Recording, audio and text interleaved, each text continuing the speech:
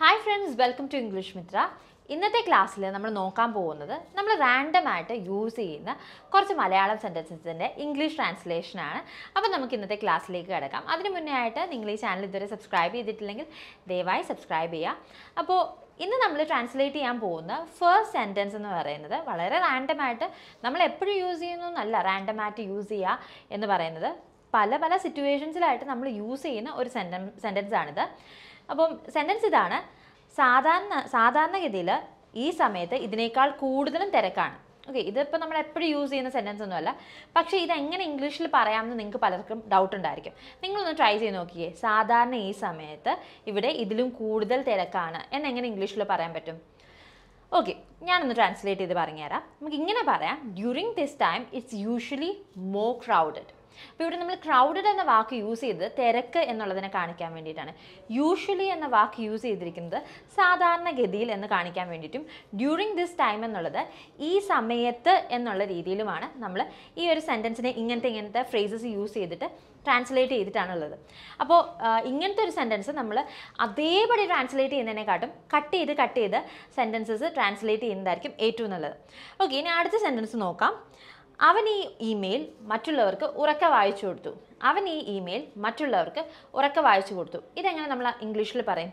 So you can translate the sentence as he read the email aloud to others okay ഇവിടെ ഉറക്കെ എന്നുള്ള അർത്ഥത്തിലാണ് allowed എന്ന വാക്ക് use ചെയ്തിരിക്കുന്നത്. ഭയങ്കര ഭയങ്കര ശബ്ദം അല്ലെങ്കിൽ കൂടുതൽ ശബ്ദം എന്നുള്ളതിന് നമ്മൾ ലൗഡ് എന്ന് പറയുമ്പോൾ ഉറക്കെ എന്നുള്ള അർത്ഥത്തിലാണ് നമ്മൾ എലൗഡ് എന്ന വാക്ക് യൂസ് ചെയ്തിരിക്കുന്നത്. അപ്പം ഈ ഇമെയിൽ അവൻ ഉറക്കെ വായിച്ചു എന്നുള്ളതിന് നമുക്കിങ്ങനെ പറയാം. He read the email aloud to others മറ്റുള്ളവർക്കായിട്ട് ഉറക്കെ അവൻ ഈ ഇമെയിൽ വായിച്ചു. ഇനി അടുത്ത എക്സാമ്പിൾ നമുക്ക് നോക്കാം. നീ ആവശ്യപ്പെട ആവശ്യമില്ലാതെ ദേഷ്യപ്പെടുകയാണ്. ഇത് നമ്മൾ സാധാരണഗതിയിൽ നമ്മുടെ ഫ്രണ്ട്സിന്റെ അടുത്തും നമ്മുടെ ഫാമിലിയിലുള്ളവരുടെ അടുത്തും അവർ ദേഷ്യപ്പെടുകയാണെങ്കിൽ നീ വെറുതെ അനാവശ്യമായിട്ട് ദേഷ്യപ്പെടുകയാണ്. ഇത് നമ്മൾ സാധാരണ യൂസ് ചെയ്യുന്ന ഒരു സെന്റൻസാണ് ഈ സെന്റൻസിനെ നമുക്ക് എങ്ങനെ ട്രാൻസ്ലേറ്റ് ചെയ്യാം? നിങ്ങൾ ആദ്യം ഒന്ന് ട്രാൻസ്ലേറ്റ് ചെയ്യാൻ ശ്രമിച്ചു നോക്കൂ. നീ അനാവശ്യമായിട്ട് ദേഷ്യപ്പെടുകയാണ്. ഓക്കെ ഇനി ഞാൻ ട്രാൻസ്ലേറ്റ് ചെയ്ത് പറഞ്ഞുതരാം you are unnecessarily getting angry എന്ന് വെച്ചാൽ നീ അനാവശ്യമായിട്ട് ദേഷ്യപ്പെടുകയാണ്. You are unnecessarily getting angry ഇനി ഇതുപോലത്തെ മറ്റൊരു സെന്റൻസ് ആണ്. നിനക്ക് ആവശ്യമുള്ളപ്പോൾ എന്നോട് ചോദിക്കുക നിനക്ക് ആവശ്യമുള്ളപ്പോൾ എന്നോട് ചോദിക്കുക ഇതും നമ്മൾ ഡെയിലി ലൈഫിൽ കാഷ്വൽ ആയിട്ടുള്ള കോൺവെർസേഷനിലൊക്കെ യൂസ് ചെയ്യുന്നതാണ്. അപ്പോൾ ഈ സെന്റൻസ് എങ്ങനെ നമുക്ക് മലയാളത്തിലേക്ക് ട്രാൻസ്ലേറ്റ് ചെയ്യാം? നിങ്ങൾ ആദ്യം ഒന്ന് ട്രാൻസ്ലേറ്റ് ചെയ്ത് നോക്കുക. നിനക്ക് ആവശ്യമുള്ളപ്പോൾ എന്നോട് ചോദിക്കുക ഓക്കെ ഇനി ഞാൻ ട്രാൻസ്ലേറ്റ് ചെയ്ത് തരാം. നിനക്ക് ആവശ്യമുള്ളപ്പോൾ എന്നോട് ചോദിക്കുക എന്നുള്ളത് ask me when you need it okay നിനക്ക് ആവശ്യമുള്ളപ്പോൾ അപ്പോൾ എന്ന വാക്ക് ഇവിടെ വന്നിരിക്കുന്നത് കൊണ്ടാണ് വെൻ യു നീഡ് ഇറ്റ് എന്നുള്ള ഫ്രേസ് ഞാൻ യൂസ് ചെയ്തിരിക്കുന്നത്. അപ്പോൾ എന്നുള്ളതിന് പകരം വെൻ യൂസ് ചെയ്തിട്ടുണ്ട്. ചോദിക്ക് എന്നോട് ചോദിക്കുക എന്നുള്ളതിന് പകരമാണ് ആസ്ക് മീ എന്ന ഫ്രേസ് വന്നിട്ടുള്ളത്. അപ്പോൾ നീ ആവശ്യമുള്ളപ്പോൾ എന്നോട് ചോദിക്കുക ask me when you need it ഇവിടെ യു എന്ന സബ്ജക്റ്റ് കൊടുക്കണമെങ്കിൽ നിങ്ങൾ കൊടുക്കാം നിങ്ങൾക്ക് കൊടുക്കാം. കൊടുത്തില്ലെങ്കിലും കുഴപ്പമില്ല. കാഷ്വലായിട്ടാണ് ഞാൻ പറഞ്ഞിരിക്കുന്നത്. ഭയങ്കര ഫോമലായിട്ട് you can ask me when you need it എന്നുള്ളത് ഭയങ്കര ഫോമലായിട്ട് നിങ്ങൾക്ക് ഇങ്ങനെ പറയാവുന്നതാണ്. ഇനി അടുത്തത് ഞാൻ പറയുന്നത് നീ എന്നെങ്കിലും കേട്ടിട്ടുണ്ടോ? ഞാൻ പറയുന്നത് നീ എപ്പോഴെങ്കിലും അല്ലെങ്കിൽ എന്നെങ്കിലും കേട്ടിട്ടുണ്ടോ? ഇതും നമ്മൾക്ക് ദേഷ്യമൊക്കെ വരുന്ന സമയത്ത് നമ്മൾ ഫ്രണ്ട്സിന്റെ അടുത്തും ഫാമിലിയുടെ അടുത്തും ഒക്കെ യൂസ് ചെയ്യുന്ന സെന്റൻസ് ആണ്. നിങ്ങൾ ഇതൊന്ന് ഇംഗ്ലീഷിലേക്ക് ട്രാൻസ്ലേറ്റ് ചെയ്ത് നോക്കുക. നീ എപ്പോഴെങ്കിലും ഞാൻ പറയുന്നത് കേട്ടിട്ടുണ്ടോ? സോ നമുക്ക് ഈ സെന്റൻസിനെ ഇങ്ങനെ ട്രാൻസ്ലേറ്റ് ചെയ്യാം. Have you ever listen to me okay എപ്പോഴെങ്കിലും did you ever listen to me എന്ന് ചോദിക്കാൻ പറ്റുമോ ഇല്ല. ഡിഡ് എന്ന് പറയുമ്പോൾ നമുക്കൊരു സ്പെസിഫിക് ടൈമിൽ അതായത് did you listen to me then അങ്ങനെയൊക്കെ നമുക്ക് ചോദിക്കാൻ പറ്റുള്ളൂ. പക്ഷേ ഹാവ് എന്ന് പറയുമ്പോൾ ഒരു സ്പെസിഫിക് ആയിട്ടുള്ള ടൈം ഇവിടെ മെൻഷൻഡ് അല്ല എപ്പോഴെങ്കിലും എന്നാണ് പറയുന്നത്. സോ ആ സമയത്ത് നമുക്ക് ഹാവേ യൂസ് ചെയ്യാൻ പറ്റുള്ളൂ. ഇവിടെ ഈ ഒരു സാഹചര്യത്തിൽ നമുക്ക് ഡിഡ് യൂസ് ചെയ്യാൻ പറ്റില്ല. സോ ഈ സാഹചര്യത്തിൽ നമുക്ക് യൂസ് ചെയ്യാൻ പറ്റുന്ന ഫ്രീ വേർബ് എന്ന് പറയുന്നത് ക്വസ്റ്റ്യൻ വേർഡ് എന്ന് പറയുന്നത് ഹാവ് ആണ്. അപ്പം നീ എപ്പോഴെങ്കിലും ഞാൻ പറയുന്നത് കേട്ടിട്ടുണ്ടോ? അല്ലെങ്കിൽ ഞാൻ പറയുന്നത് ശ്രദ്ധിച്ചിട്ടുണ്ടോ എന്ന് പറയുമ്പോഴത്തേക്ക് have you ever listen to me എന്നാകും. സോ ഈ കേട്ടിട്ടുണ്ടോ എന്ന് പറയുമ്പോഴത്തേക്ക് പെട്ടെന്ന് നമുക്ക് ഹിയർ എന്നുള്ള വാക്കായിട്ട് യൂസ് ചെയ്യാനാണ് നമുക്കൊരു പ്രേ ഒരു ഇത് വരുന്നത്.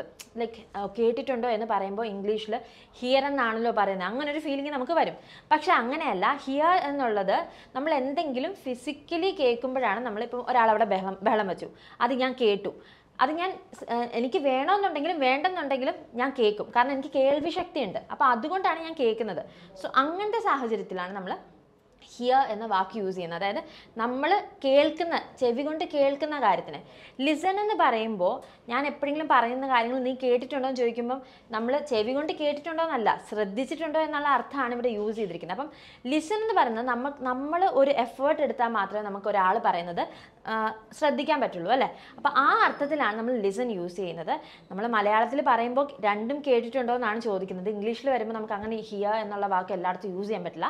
ശ്രദ്ധിക്കുക എന്നുള്ള അർത്ഥത്തിൽ നമ്മൾ ലിസൺ തന്നെയാണ് യൂസ് ചെയ്യുന്നത്. അപ്പോൾ അത് പ്രത്യേകം നോട്ട് ചെയ്യാം. നീ അവനെ വിളിക്കേണ്ട ആവശ്യമില്ല. ഈ സെന്റൻസ് നമുക്ക് എങ്ങനെ ഇംഗ്ലീഷിലേക്ക് ട്രാൻസ്ലേറ്റ് ചെയ്യാൻ പറ്റും? നിങ്ങളൊന്ന് ശ്രമിച്ചു നോക്കുക. നീ അവനെ വിളിക്കേണ്ട ആവശ്യമില്ല. ഇവിടെ ആവശ്യം എന്നുള്ള വാക്കിന് നമ്മൾ ഇംഗ്ലീഷിൽ നീഡ് എന്നാണ് പറയുന്നത്. അപ്പോൾ ആവശ്യമില്ല എന്നുള്ളതിന് നമ്മൾ എങ്ങനെ പറയും? എന്നുള്ളതാണ് നമ്മുടെ മെയിൻ കൺഫ്യൂഷൻ ഓക്കെ അപ്പോൾ അതിന് നമുക്ക് പല രീതിയിൽ പറയാം. അതിൽ ഒന്നെന്ന് പറയുന്നത് there is no need to call him എന്നാണ്. There is no need to call him അപ്പോൾ there is no need to call him എന്ന് പറയുമ്പോൾ ഇവിടെ നമ്മൾ നീ എന്നുള്ള വാക്ക് യൂസ് ചെയ്തിട്ടില്ല. കാരണം ഈ ഒരു സെന്റൻസിന്റെ കൂടെ നമുക്ക് യു യൂസ് ചെയ്യേണ്ട ആവശ്യമില്ല. യു യൂസ് ചെയ്താലും അത് doesn't make any sense so ഇവിടെ നമ്മൾ സബ്ജക്റ്റ് മെൻഷൻ ചെയ്യേണ്ട. ഇത് ഭയങ്കര കാഷ്വൽ ആയിട്ടുള്ള സ്പോക്കൺ ഇംഗ്ലീഷിൽ നമ്മൾ യൂസ് ചെയ്യുന്ന ടേമാണ് ഗ്രമാറ്റിക്കലി നമ്മൾ നോക്കുമ്പോൾ it might be incorrect but spoken ഇംഗ്ലീഷിൽ നേറ്റീവ് സ്പീക്കേഴ്സ് യൂസ് ചെയ്യുന്ന ഒരു ഫ്രേസ് തന്നെയാണ്. സോ ഇറ്റ് ഇസ് അക്സെപ്റ്റഡ് നിങ്ങൾക്ക് അത് യൂസ് ചെയ്യാൻ പറ്റും. There is no need to call him നീ അവനെ വിളിക്കേണ്ട ആവശ്യമില്ല. ഇപ്പോൾ നീ ഇവിടെ വരേണ്ട ആവശ്യമില്ല. There is no need to come here എന്ന് നിങ്ങൾക്ക് പറയാവുന്നതാണ്. അതുപോലെ തന്നെ നീ അവനെ സന്ദർശിക്കേണ്ട ആവശ്യമില്ല. There is no need to visit him എന്ന് പറയാവുന്നതാണ്. അപ്പോൾ അവിടെ യു എന്ന സബ്ജക്റ്റ് യൂസ് ചെയ്യേണ്ട കാര്യമില്ല. ഇനി അതുപോലെ തന്നെ ഇത് വേറൊരു രീതിയിൽ നമുക്ക് പറയാം. You need not call him you need not call him എന്താണ് അവിടെ അർത്ഥം വരുന്നത്? നീ അവനെ വിളിക്കേണ്ട ആവശ്യമില്ല. പക്ഷേ ഈ സെന്റൻസിന് നമ്മൾ സബ്ജക്റ്റ് കൊടുത്തിട്ടുണ്ട്. അപ്പോൾ നീഡിന്റെ നെഗറ്റീവായിട്ട് നീഡ് നോട്ട് എന്ന ആ യൂസേജും കൊടുത്തിട്ടുണ്ട്. ഓക്കെ അപ്പോൾ നീഡിന്റെ നെഗറ്റീവായിട്ട് നിങ്ങൾക്ക് നീഡ് നോട്ട് യൂസ് ചെയ്യാവുന്നതാണ്. ഇനി നമുക്ക് അടുത്ത സെന്റൻസ് നോക്കാം. അടുത്ത സെന്റൻസ് ഇങ്ങനെയാണ്. അവൻ പറയുന്നത് കേൾക്കൂ. അവൻ പറയുന്നത് കേൾക്കൂ. ഇവിടെയും കേൾക്കൂ എന്ന് പറയുമ്പം ഹിയ എന്നല്ല ഉദ്ദേശിക്കുന്നത്. ശ്രദ്ധിക്കൂ എന്നുള്ള അർത്ഥ അർത്ഥമാണ് ഇവിടെ മലയാളം സെന്റൻസിൽ കേൾക്കൂ എന്ന വാക്കിന് വരുന്നത് അല്ലേ? അപ്പോൾ അവൻ പറയുന്നത് എന്തായാലും നമുക്ക് ചെവി കേൾക്കാൻ പറ്റുമെങ്കിൽ നമുക്ക് ഉറപ്പായിട്ടും കേൾക്കാൻ പറ്റും. ശ്രദ്ധിക്കൂ എന്ന അർത്ഥമാണ് ഇവിടെ വരുന്നത്. അവൻ പറയുന്നത് കേൾക്കൂ. അപ്പോൾ അതിനെ നമുക്ക് എങ്ങനെ ഇംഗ്ലീഷിൽ പറയാം? Listen to what he is saying okay listen to what he is saying അപ്പോൾ നമുക്ക് ലിസൺ എന്ന വാക്കാണ് ഇവിടെ യൂസ് ചെയ്യുന്നത്. ഹിയർ എന്നുള്ള വാക്ക് നമുക്ക് യൂസ് ചെയ്യാൻ പറ്റില്ല. ഹിയർ വാട്ട് ഹീ സേയിങ് എന്ന് നമുക്ക് യൂസ് ചെയ്താൽ ഡസൻ മേക്ക് എനി സെൻസ് നമുക്ക് എന്തായാലും ചെവി കേൾക്കാൻ പറ്റുന്ന ഒരാൾക്കാണെങ്കിൽ കേൾക്കാൻ കഴിയും. ശ്രദ്ധിക്കൂ എന്നുള്ള അർത്ഥമാണ് ഇവിടെ വരുന്നത്. So listen to what he's saying ഇനി അടുത്ത സെന്റൻസ് നോക്കാം. അവൾ അവനോട് വരണ്ട എന്ന് പറഞ്ഞു. അവൾ അവനോട് വരണ്ട എന്ന് പറഞ്ഞു. ഇതെങ്ങനെ പറയാം? നിങ്ങളൊന്ന് ട്രാൻസ്ലേറ്റ് ചെയ്ത് നോക്കുക. അവൾ അവനോട് വരണ്ട എന്ന് പറഞ്ഞു. അപ്പോൾ ഇവിടെ നമുക്കൊരു ടെൻഡൻസി പറയും ടെൻഡൻസി വരുന്നത് എന്താണെന്ന് വെച്ചാൽ സെന്റൻസിന് ഇങ്ങനെ ട്രാൻസ്ലേറ്റ് ചെയ്യാനാണ്.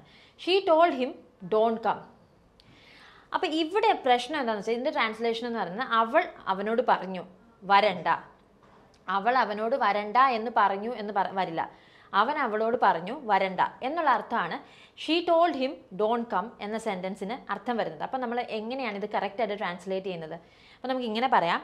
She told him not to come വരണ്ട എന്ന് പറഞ്ഞു. She told him not to come എന്നാണ് പറയേണ്ടത്. അതാണ് കറക്റ്റ് ആയിട്ടുള്ള ട്രാൻസ്ലേഷൻ നമുക്ക് അടുത്ത സെന്റൻസ് നോക്കാം. ഞാൻ പറയുന്നത് മനസ്സിലാക്കാൻ ശ്രമിക്കൂ. ഞാൻ പറയുന്നത് മനസ്സിലാക്കാൻ ശ്രമിക്കൂ. ചില സമയത്ത് നമ്മൾ ആരോടെങ്കിലും സംസാരിക്കുമ്പോൾ നമ്മൾ പറയുന്ന കാര്യം കൃത്യമായിട്ട് അവരുടെ അടുത്ത് എത്തണം എന്നില്ല. അപ്പം നമുക്ക് നമ്മൾ പറയുന്ന കാര്യം കറക്റ്റായിട്ട് മനസ്സിലാവുന്നില്ല എന്ന് തോന്നുമ്പോൾ നമ്മൾ യൂസ് ചെയ്യുന്നൊരു സെന്റൻസാണ് ഞാൻ ഒന്ന് പറയുന്നത് നീ ഒന്ന് മനസ്സിലാക്കാൻ ശ്രമിക്കുക ഓക്കെ ഭയങ്കര യൂഷ്വലി നമ്മൾ യൂസ് ചെയ്യുന്ന ഒരു വാക്കാണ്. അപ്പോൾ ഈ വാക്കിന് നമുക്ക് ഇംഗ്ലീഷിൽ എങ്ങനെ പറയാം? നിങ്ങൾക്ക് വേണമെങ്കിൽ try to understand what I'm saying എന്ന് പറയാം. Try to understand what I'm saying പക്ഷേ കുറച്ചുകൂടി പൊളായിട്ട് ആവണമെങ്കിൽ please try to understand what I'm saying okay ഞാൻ പറയുന്ന എന്താണെന്ന് ഒന്ന് മനസ്സിലാക്കാൻ ദയവായി ശ്രമിക്കൂ. സോ പ്ലീസ് നിങ്ങൾക്ക് ആഡ് ചെയ്യാനാണ് ഞാൻ സജസ്റ്റ് ചെയ്യുന്നത്. ഇല്ലെങ്കിൽ try to understand what I am saying എന്ന് നിങ്ങൾക്ക് പറയാം. ഇനി അടുത്ത സെന്റൻസ് ആണ്. എന്താ കാര്യം എന്ന് അവൻ ചോദിച്ചോ? എന്താണ് കാരണം എന്ന് അവൻ ചോദിച്ചോ? എന്തെങ്കിലും ഒരു സംഭവം നടന്നു. അതിന്റെ കാരണം എന്താണെന്ന് അവൻ ചോദിച്ചോ? എന്നാണ് ഈ ക്വസ്റ്റ്യൻ കൊണ്ട് ഉദ്ദേശിക്കുന്നത്. അപ്പം നമുക്കിത് എങ്ങനെ എങ്ങനെ ഇത് ഇത് നമുക്കൊന്ന് ട്രാൻസ്ലേറ്റ് ചെയ്യാം. എന്താ കാര്യം അല്ലെങ്കിൽ എന്തുകൊണ്ട് എന്നൊക്കെ വരുമ്പോഴത്തേക്ക് നമുക്ക് വൈ യൂസ് ചെയ്യാനാണ് ഒരു ടെൻഡൻസി വരുന്നത്. പക്ഷേ ഇവിടെ ക്വസ്റ്റ്യൻ വേർഡ് വൈ അല്ല. നമുക്ക് ഇങ്ങനെ ചോദിക്കാം.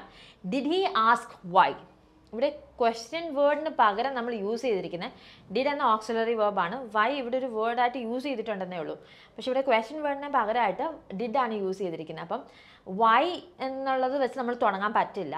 എന്തുകൊണ്ടാണ് നമ്മൾ ചോദിച്ചോ എന്നുള്ളതാണ് നമ്മുടെ ചോദ്യം. അപ്പം നമുക്ക് ഡിഡ് ഹി ആസ്ക് വൈ എന്നേ പറയാൻ പറ്റുള്ളൂ. ഓക്കെ അപ്പം നമ്മൾ ഇന്ന് പഠിച്ചത് പത്ത് വളരെ കാഷ്വൽ ആയിട്ടുള്ള വളരെ സിമ്പിൾ ആയിട്ടുള്ള സെന്റൻസസ് ആണ് നിങ്ങൾക്ക് ഡെയിലി ലൈഫിൽ നിങ്ങൾ യൂസ് ചെയ്യുന്നതായിരിക്കാം.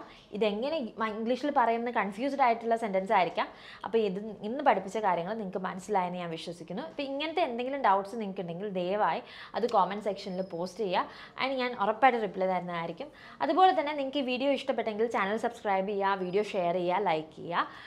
അതുപോലെ ഇംഗ്ലീഷ് മിത്രയുടെ സ്പോക്കൺ ഇംഗ്ലീഷ് കോഴ്സിനെ കുറിച്ച് കൂടുതൽ ഡീറ്റെയിൽസ് നിങ്ങൾ അറിയാൻ താല്പര്യപ്പെടുന്നുണ്ടെങ്കിൽ ദയവായി താഴെ കൊടുത്തിരിക്കുന്ന ഡിസ്ക്രിപ്ഷനിൽ കൊടുത്തിരിക്കുന്ന ലിങ്കിൽ ക്ലിക്ക് ചെയ്യുക. ലിങ്കിൽ ക്ലിക്ക് ചെയ്തതിന് ശേഷം നിങ്ങൾക്ക് കൗൺസിലറുമായിട്ട് ബന്ധപ്പെട്ട് കോഴ്സിന്റെ ഡീറ്റെയിൽസ് കളക്ട് ചെയ്യാവുന്നതാണ്. എന്ത് സംശയം ഉണ്ടെങ്കിലും ചോദിക്കാം. അതിനുശേഷം ഈ കോഴ്സ് നിങ്ങൾക്ക് ഓക്കെ ആണ് നിങ്ങൾക്ക് ജോയിൻ ചെയ്യാൻ താല്പര്യമുണ്ടെങ്കിൽ മാത്രം നിങ്ങൾ അഡ്മിഷൻ എടുക്കുക.